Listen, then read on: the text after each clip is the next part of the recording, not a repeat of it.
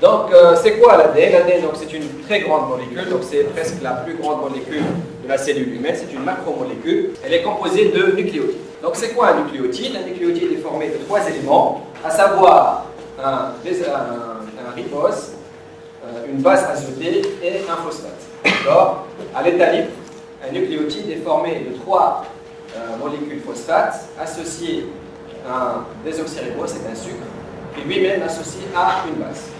Donc ce qui fait que le terme nucléotide s'applique à le trio base azotée, euh, sucre et phosphate. Que ce soit un ou deux ou trois phosphates, ça forme un nucléotide. Sachant que dans la nature, à l'état libre, le, euh, nucléotide est forme triphosphate et lorsqu'il s'incorpore dans l'ADN, il va perdre ces deux phosphates. Il va garder celui-ci qui va se lier à la molécule d'ADN. Donc, la molécule de nucléotide, c'est tout ça. Ici, on enlève les phosphates, c'est-à-dire base et sucre, on appelle à ce moment-là un nucléoside. Donc l'ADN est formé de nucléotides et non pas de nucléosides. Et dans les, nucléotides, la partie variable, c'est la base azotée. D'accord? Donc il y a au niveau de l'ADN, quatre types de bases azotées, vous les connaissez, c'est la guanine, la cytosine, l'adénine et la thymine. Donc la variabilité d'un nucléotide est due à la variabilité de cette base azotée. Alors comment ces nucléotides vont se mettre en place au niveau de l'ADN? Simple. Au niveau de l'ADN, les nucléotides vont se relier pour former une barre. D'accord Donc on va prendre la barre, une seule barre, c'est comme une échelle avec des barres euh, verticaux et des barres horizontales. On va prendre une seule barre. Donc une barre, par quoi elle est formée? Elle est formée par euh, notre euh, sucre, le désoxyribose. Donc voici les sucres. Et les sucres sont reliés, les différents nucléotides sont reliés entre eux par cette molécule de phosphate qui reste à partir du triphosphate. Donc on garde un seul phosphate, c'est le monophosphate. Donc, et ce sucre est relié à la base azotée. Donc, du coup, on a la barre verticale est formée par l'association sucre-phosphate, sucre-phosphate, sucre-phosphate, alors que la barre horizontale, pour une seule partie, elle est formée par, le, euh, par la base, soit la la cytosine, la guanine et la thymine. Et donc, chaque, chacune de ces barres va se relier avec une autre barre en face d'elle par complémentarité de base pour former l'échelle, la totalité de l'échelle avec les deux barres verticaux et les barres horizontaux de telle manière que l'adénine se lie à la thymine, la cytosine à la guanine, la guanine à la cytosine et la thymine à la D'accord? Donc l'adénine toujours est liée à la thymine et la cytosine toujours liée à la guanine. Donc, voici comment, sur un plan, se forme la molécule d'ADN avec les deux barres verticaux et les barres horizontaux. Mais euh, dans la nature, cette euh, double donc cette échelle avec ces doubles barres vont se tordre dans l'espace pour donner l'aspect en 3D. Donc l'aspect en 3D, c'est ça, c'est la, double molécule d'ADN. En fait, c'est cette échelle, mais juste qu'elle est tordue. Donc on voit ici la première barre de l'échelle, la deuxième, ça c'est la première, donc la deuxième barre de l'échelle, les deux barres, donc ils sont reliés ensemble et ils sont tordus pour former cette molécule d'ADN qu'on voit ici en double hélice. D'accord? Caractéristique de la molécule d'ADN. Aussi, chose importante qui va nous servir par la suite, c'est que la thymine, le nucléotide thymine, en se reliant avec la nucléotide adénine, cette liaison se fait, ou la cytosine avec la guanine, cette liaison se fait par des liaisons de type hydrogène. D'accord? À savoir qu'entre thymine et adénine, il y a deux liaisons hydrogènes, et entre guanine et cytosine, il y a trois liaisons hydrogènes. Alors que les liaisons qui se font entre la base azotée et le sucre d'un côté, ou le sucre et le phosphate, sont des liaisons de type covalente, d'accord qui, sont beaucoup plus dures que les liaisons hydrogènes. Donc pour les liaisons hydrogènes, ce sont des liaisons qui sont très faibles, ce sont des liaisons électrostatiques. Il suffit d'appliquer une augmentation de température ou euh, une solution euh, riche en NaOH par exemple pour euh, écarter les deux barres de cette échelle. Alors que la liaison covalente, c'est une liaison qui est très dure, il faut beaucoup de beaucoup d'énergie pour la séparer. C'est pour cela que dans le molécule d'ADN, cette liaison est presque jamais euh, détachable.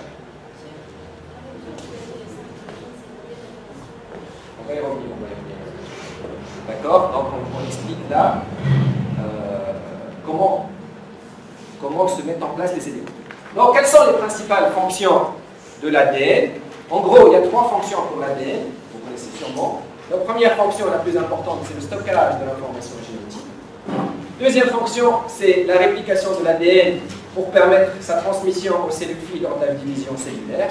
Et troisième fonction, c'est la transcription de l'ADN en ARN pour que cet ARN puisse aller par la suite dans le cytoplasme et se traduire en protéines. Donc trois fonctions à la molécule d'ADN, le support de l'information génétique, la réplication pour passer aux cellules filles et la transcription en ARN. Mais dans le noyau, l'ADN n'est pas en état libre, il n'est pas situé tout seul. Il est associé à des, à protéines histones. Et cette association à des protéines histones euh, présente des règles très particulières, puisque la molécule d'ADN va s'enrouler autour de ces protéines histones de, la manière suivante. Tout d'abord, il y en a quatre types de protéines histones, qui sont la protéine H2A, H2B, H3 et H4, qui vont s'associer deux à deux pour former 8 molécules associées, ce qu'on appelle un hexamère. Donc vous voyez ici, on va imaginer que là ce sont des deux H2A, une molécule H2A, une deuxième molécule, deux molécules H2B, deux molécules H3 et deux molécules H4. Donc ils vont former un hexamère. Et autour de cet hexamère, la molécule d'ADN va faire deux tours de spire. Elle va s'enrouler deux fois autour de cet hexamère. Et l'ensemble des protéines histones avec l'enroulement de cet ADN deux fois s'appelle un, un nucléosome. D'accord? Tout ça, ça s'appelle un nucléosome, oui. Euh, non, octamère, j'ai dit hexamère. C'est 6 hexamères. Hein. Donc c'est 8, c'est 8, c'est octamère. D'accord C'est octamère. Donc c'est 8 molécules, c'est un octamère, c'est pas exemple. D'accord Donc c'est 8 molécules, c'est un octamère. Donc autour de cet octamère, euh, l'ADN va s'enrouler pour former un nucléosome. D'accord Ça, c'est le premier niveau de compaction. D'accord je vous ai dit l'ADN, dans le noyau, l'ADN n'est pas libre, il est compacté, il est compressé, puisque c'est une très grande molécule. Et donc cette compression va se faire grâce aux molécules histones et aux molécules non histones. Donc on va commencer notamment par les molécules histones pour former avec les H2A, H2B, H3 et H4 un nucléosome. Mais ce nucléosome, il est toujours très relâché, donc il va encore se compresser. Il va encore se compresser. Comment va se compresser ce, euh, ces, nucléosomes? Ils vont s'enrouler sur une barre, d'accord, qui est formée par la protéine H1, la protéine euh, histone H1, de telle manière, ce qu'on voit ici, on voit cette formation. En fait, c'est quoi cette formation? C'est au centre, ce qu'on ne voit pas, il y a la protéine H1 qui forme un poteau, une barre, d'accord, c'est une barre, c'est un poteau sur laquelle viennent s'enrouler les nucléosomes. Donc cette formation d'H1 autour duquel se forme le nucléosome s'appelle un solénoïde. Donc deuxième niveau de compaction, c'est le solénoïde. C'est quoi un solénoïde? C'est les nucléosomes qui viennent s'enrouler autour d'une barre verticale qui forme la protéine H1. Ça, c'est le deuxième niveau de compaction. Par la suite, ces solénoïdes vont encore se compacter, maintenant pas autour de protéines histones, mais autour d'autres protéines non histones, pour former à la fin ce qu'on appelle un nucléofilament. D'accord? Un nucléofilament. Et ce nucléofilament, c'est en fait l'enroulement de ces nucléosomes autour d'autres protéines non. Et la compression par la suite de ces nucléofilaments, essentiellement au moment de la mitose, la mitose, il y aura une compression encore plus importante euh, de cette euh, au niveau de la métaphase de la mitose. Donc il y aura une compression plus importante de ce nucléofilament pour former des chromosomes. C'est-à-dire qu'à la métaphase, des chromosomes sont formés. Et c'est quoi ces chromosomes? En fait, ce sont les nucléofilaments qui se trouvaient à l'état libre au niveau du noyau en dehors de la métaphase. Ils vont se euh, comprimer encore plus, ils vont s'associer encore plus les uns aux autres pour former un chromosome qu'on voit uniquement au niveau de la métaphase de la mitose. Donc voici comment l'ADN est comprimé pour former les 46 chromosomes. En fait, lorsqu'on dit que l'ADN est une macromolécule, ce qu'on veut dire c'est que c'est une macromolécule, c'est vrai, mais elle est divisée en 46 petites macromolécules. Puisqu'on a 46 chromosomes, et chaque chromosome représente une grande molécule d'ADN. Donc lorsqu'on dit une macromolécule qui fait 3,2 milliards de base, ce qu'on veut dire là, c'est qu'il y a 46 macromolécules euh, pour former 46 chromosomes et dans l'ensemble il fait 3,2 milliards de paires Donc là, tout ce que je suis en train de dire, ça concerne l'ADN nucléaire. On va voir qu'il y a aussi un deuxième type d'ADN au niveau de la cellule. Deuxième chose très importante, c'est que l'ADN nucléaire, on est toujours dans l'ADN nucléaire, c'est un ADN qui n'est pas homogène. Comment on a su que cet ADN n'est pas homogène? On a fait cette expérience, et on va revenir à la euh, remarque de notre camarade. Donc, on a pris l'ADN, toute la molécule d'ADN, on l'a dénaturé. Qu'est-ce que ça veut dire dénaturer l'ADN C'est-à-dire couper les euh, liaisons hydrogènes pour libérer les deux brins. On va libérer les deux brins, c'est-à-dire on va prendre, euh, chaque brin va partir de son côté. On va prendre un brin à droite, l'autre brin à gauche. D'accord C'est très simple, il suffit de couper les deux molécules, les liaisons hydrogènes. Et pour couper les liaisons hydrogènes qui sont des liaisons faibles, la méthode la plus simple, c'est d'élever la température. Donc il y a 94, généralement aux alentours de 94 degrés Celsius, toute l'ADN à cette température et sous forme simple bras, puisque toutes les liaisons d'hydrogène à cette température ont été coupées. D'accord? Et donc qu'est-ce qu'on a fait dans cette expérience? On a pris tout l'ADN, on l'a coupé en euh, deux simples brins, puis on a mis à température ambiante. Donc qu'est-ce qui se passe à température ambiante? L'ADN simple brin, qui n'est pas stable à, euh, à ce stade-là, doit se réassembler en ADN double brin pour redevenir stable. Et cette réassociation se fait de façon spontanée. Il suffit de laisser l'ADN refroidir, il va tout de suite reprendre son état double brin. Et donc on a calculé la vitesse avec laquelle se fait cette réassociation. D'accord? Donc avec des techniques bien sûr très, très poussées. Donc on a calculé la vitesse avec laquelle se fait cette réassociation et on a obtenu cette courbe. C'est quoi donc cette courbe? C'est la vitesse avec laquelle l'ADN se renature ou se réassocie, les deux termes sont exacts, se renature ou se réassocie, pour reprendre à la fin, euh, pour reprendre ici donc c'est euh, sa forme euh, double point. Donc ici, si on veut lire cette courbe, c'est ici le pourcentage de réassociation, et là selon la vitesse. D'accord? Donc la vitesse de réassociation et le pourcentage. Là c'est 100% et là c'est la vitesse la plus. Donc qu'est-ce qu'on a remarqué? On a remarqué que cette ADN présente trois phases. Une première phase, une deuxième phase et une troisième phase. Donc une phase où l'ADN se réassocie de façon très rapide, à la vitesse de 10 puissance 4 euh, molécules par seconde. Une phase où l'ADN se réassocie de façon moyenne aux alentours de 10 euh, moles par seconde et une phase où l'association se fait de façon très lente, d'accord, aux alentours de 10 puissance 3 moles par seconde. D'accord? Donc après, par des études très poussées aussi, surtout après le séquençage du génome humain, vous savez que tous les génomes humains ont été séquencés et la séquence terminale a été publiée en 2004, on s'est rendu compte, et on a revu ces, ces différentes parties de l'ADN, on s'est rendu compte que ce sont des régions d'ADN qui sont plus ou moins répétées. Et plus ces régions sont répétées, plus leur vitesse de réassociation est lente. Qu'est-ce que ça veut dire? Ça veut dire à ce niveau-là, on va trouver des régions qui sont hyper répétées, très répétées. Ici, des régions moyennement répétées, et ici, des régions plutôt uniques, voire très peu répétées. D'accord? Donc, on va voir quelles sont ces régions. Donc, pour les régions hautement répétées, c'est à peu près cette région, représente à peu près 15% du génome humain. C'est cette région, enfin c'est pas une région, il hein. ne faut pas imaginer que c'est une région de l'ADN, c'est-à-dire un bout de l'ADN. Puis on va trouver, ce sont des, répétitions qui sont réparties sur l'ensemble du génome, sur l'ensemble de l'ADN. D'accord? On peut trouver ces répétitions au début, au milieu, juste avec un petit bout après, à la fin de l'ADN. Donc tout est mélangé. Il n'y a, pas de l'ADN d'un côté qui est répété, de l'autre euh, non répété, puis euh, moyennement répété est mélangé dans l'ADN. Mais le fait que ces régions soient très répétées et réparties sur tout le génome humain, sur tout l'ADN humain, font euh, que l'ADN est comme ça. Et ces régions répétées et réparties sur le génome humain représentent à peu près 15% du génome. C'est quoi ces régions hautement répétées? C'est ce qu'on appelle des microsatellites. Ce sont des petites régions, des petites séquences qui font aux alentours de 20 à 30 leur taille totale.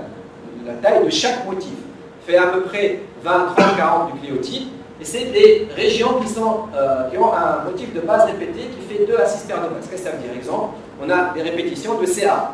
On va trouver CA, CA, CA, CA, CA, CA, CA, répétées par exemple 20 fois. Donc ça fait 40.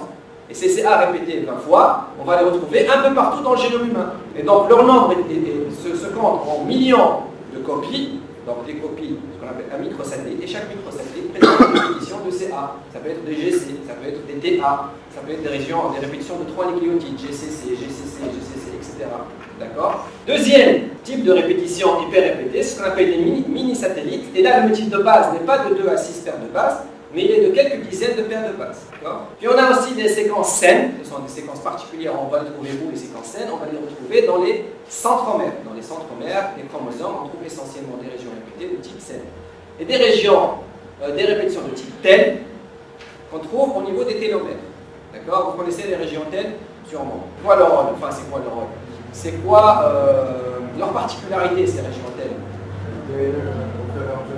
voilà, donc ils diminuent au fur et à mesure que la cellule se divise, et à un certain moment, leur taille est tellement réduite que la cellule doit mourir par apoptose, puisque leur taille est devenue tellement petite que la, cellule est devenue instable. D'accord? Donc on dit, on pense, hein, on n'est pas sûr, ils ont un rôle protecteur pour les chromosomes et non pour la cellule.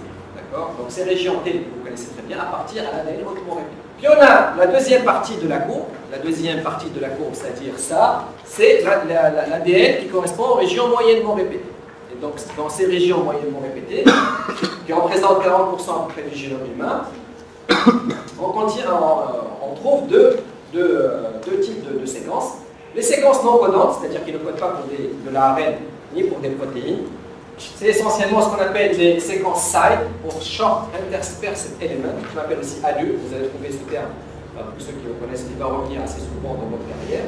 Il y a les séquences LINE pour Long Interspersed Element, donc il suffit de retenir SIDE et LINE euh, dans ces régions euh, moyennement Et aussi, il y a des séquences qui sont codantes, là ce sont des séquences qui ne codent pour rien, il y a des séquences qui sont codantes, et ce sont des séquences qui codent pour les ARN ribosomales, les arrêts de transfert. Donc les gènes qui codent pour les arrêts ribosomales et les arrêts de transfert sont très répétés dans le génome. Et ça, on le comprend parce que ce sont des gènes qui sont très importants pour l'existence de l'homme, pour son développement, pour, euh, que ce soit embryologique ou après, la naissance. Donc la cellule, pour se protéger de leur perte ou de leur mutation, elle les a multipliés des dizaines et des dizaines de fois.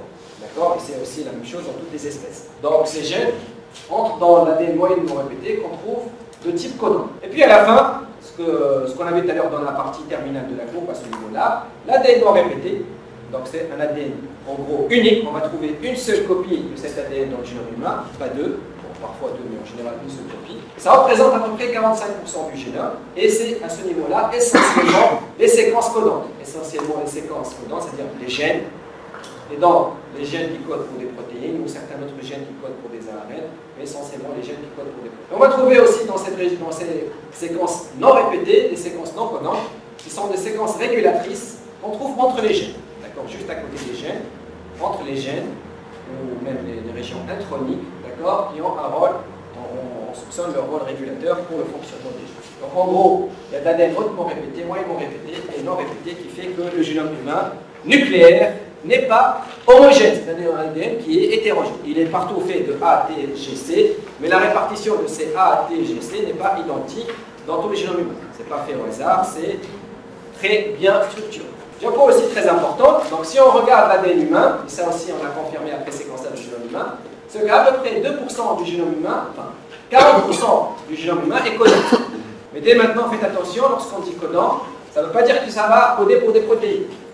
D'accord? Lorsqu'on dit que c'est un ADN codant, c'est-à-dire qu'il est transcrit. D'accord? Et retenez-le une fois pour toutes. Un ADN transcrit ne va pas coder pour, systématiquement pour des protéines. Donc un ADN transcrit va coder pour de l'ARN. Et l'ARN, il y en a deux types en gros. Enfin trois, vous allez voir, mais en gros deux types. Il y a ceux qui vont coder pour des protéines. C'est l'ARN. De quel type Messager. Et les autres ARN qui vont jouer le rôle sous forme d'ARN comme les ARN de transfert, comme les ARN ribosomaux, comme les, micro-ARN. D'accord? Tout ça, ce sont des ARN qui vont jouer un rôle très important dans la cellule, mais sous forme d'ARN, pas sous forme de protéines. Donc 45%, c'est quoi? C'est de l'ARN transcrit. Dans cet ARN transcrit, il y a 2% de cet L'ensemble du génome, qui va, qui va coder pour des protéines. C'est de l'ARN messager. D'accord? Et 43%, c'est de l'ARN qui va jouer son rôle sous forme d'ARN. Vous voyez que l'ARN qui reste sous forme d'ARN est beaucoup plus important que ce qui va être codé en protéines. Et 50%, 55% c'est de l'ARN qui ne code pour rien. Avant on l'appelait l'ADN poubelle, mais en fait c'est pas vrai parce qu'on se rend compte de plus en plus que cet ADN il a un rôle régulateur, forcément un rôle très important régulateur pour le fonctionnement des autres, de, l'autre partie de l'ADN, c'est-à-dire l'ADN transcrit, que ce soit en ARN ou en protéines. Donc ça c'est ce qui concerne l'ADN nucléaire si on résume l'ADN nucléaire, c'est un ADN linéaire, de brun. Il est formé euh, d'adénine, guanistosine, Il est compacté sous forme de nucléosome, puis sous forme de celluloïde, puis sous forme de, euh, nucléofilaments, qui vont donner les chromosomes à la mitose, euh, à la métaphase de la mitose. Et il est euh, non homogène, et il est formé essentiellement d'ADN non transcrit, 43% d'ADN transcrit mais non traduit, et 2% d'ADN transcrit. On passe maintenant au deuxième type d'ADN qu'on trouve dans la cellule. Au début, je vous ai dit que dans la cellule, il n'y a pas uniquement d'ADN nucléaire. L'ADN se trouve dans deux, endroits dans la cellule, au niveau de l'ADN, au niveau du noyau, c'est l'ADN nucléaire, et au niveau des mitochondries. On dit à peu près que l'ADN mitochondrial représente à peu près 3 euh, à 4% de l'ADN humain. D'accord? On va voir par la suite que c'est un ADN qui est transcrit, transmis uniquement par la mère. Donc, comment il est cet ADN mitochondrial? Donc, bien sûr, il est situé dans la mitochondrie. Et il a les caractéristiques suivantes. Il est euh, double brun. Je passe à la suivante. Donc, c'est un ADN qui est double brun. Donc, un brun, deux brun. Il est circulaire. Troisième donc deux caractéristiques déjà. Double brun, circulaire. Troisième caractéristique, il y a plusieurs molécules d'ADN par mitochondrie à la position de l'ADN nucléaire où il y a une seule molécule d'ADN par noyau.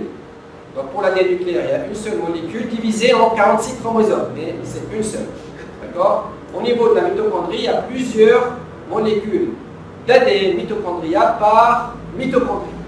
D'accord Et quatrième et dernière caractéristique, c'est que cet ADN mitochondrial, il code pour un seul ARN. Donc tout l'ADN mitochondrial ici est transcrit. Tout l'ADN mitochondrial est transcrit en un seul ARN qui fait à peu près la taille de l'ADN, c'est-à-dire 16 569 nucléotides, à peu près 17 000 de base. Et cet ARN sera coupé en petits morceaux. D'accord? Donc il y aura 13 morceaux qui vont donner de l'ARN messager, d'où 22 qui vont donner de l'ARN de transfert et 2 qui vont donner de l'ARN ribosomal. Donc les 13 qui vont donner l'ARN messager vont coder pour les protéines, et les 22 et les 2 de l'ARN transfert et ribosomaux vont jouer le rôle sous forme d'ARN. Une autre remarque très importante, c'est que ces 13 protéines ne représentent que à peu près 10% des protéines qui permettent le bon fonctionnement de la mitochondrie. Alors d'où viennent les 90 autres protéines, 10 autres de protéines? Ils viennent de, la traduction de protéines à partir de l'ADN nucléaire. D'accord? Donc ce sont des protéines qui seront traduites à partir de l'ADN nucléaire, puis ils vont entrer dans la mitochondrie pour jouer le rôle au niveau de la mitochondrie. Donc 10% ce sont ces 13 protéines et 90% des autres protéines proviennent du noyau de la traduction de l'ADN de l'ADN nucléaire. Donc on va essayer déjà de répondre aux questions qui, par rapport à tout ça. Donc tout ça c'est des objectifs, hein. j'ai rien ajouté, j'ai rien euh, éliminé. Puis après il y a plusieurs manières de présenter. Parfois je, vais un peu loin, parfois un peu, mais tout ça, ça fait partie de vos objectifs. Oui. C'est un objectif, c'est non en fait la vitesse, c'est pour comprendre pourquoi il y a un objectif, pourquoi l'ADN il est hétérogène? Il y a plusieurs parties, il y a un objectif, pas les objectifs ici. Il y a un objectif qui dit euh, est-ce que l'ADN nucléaire est homogène ou hétérogène? Et pourquoi en fait? Donc ça, c'est pour comprendre comment l'expérience a été faite pour obtenir ce résultat. D'accord? Mais il faut savoir que pour dénaturer, ça il faut le savoir, hein, pour dénaturer l'ADN, il suffit d'appliquer de la chaleur. D'accord? Et il faut savoir que ça veut dire dénaturer l'ADN ça, c'est une question aussi qui revient souvent en questionnaire. Dénaturer l'ADN, c'est-à-dire de séparer double séparer ces doubles brins en simple brin. D'accord? Donc, première question. La molécule d'ADN est un enchaînement de nucléotides. Vrai ou pas? Oui. Si c'était un enchaînement de nucléosides? Non. Est composé d'une base azotée, d'un acide phosphorique et d'un ribose. Donc vrai ou faux Faux, la désoxyribose contient autant d'adénine que de thymine Oui, parce que l'adénine est complémentaire de la thymine. Donc à chaque fois qu'on a un adénine, forcément on a un, une thymine devant, donc c'est vrai. Et monocaténaire. Est bicaténaire, donc c'est faux. Et le lieu de stockage de l'information génétique Oui, donc c'est une des fonctions de l'ADN. Donc A, C, E. Le génome est l'ensemble de l'information héréditaire d'un organisme. Oui. l'ADN, le génome, c'est l'ADN, c'est la chose, est présent en totalité dans chaque cellule. Oui. Donc, chaque cellule présente l'ensemble du génome nucléaire et mitochondrial. On va le retrouver de la même manière dans toutes les cellules. D'accord? Et transmis à la descendance. Oui. Peut-être là, j'empiète un peu sur les. Euh, est constitué d'acide ribonucléique. Donc c'est l'acide désoxyribose. Et localisé uniquement dans le noyau Non, il est localisé aussi dans la mitochondrie, donc A, B, C. Les nucléosomes sont formés par les isotopes H2A, H2B, H3 et H4. Oui. Oui.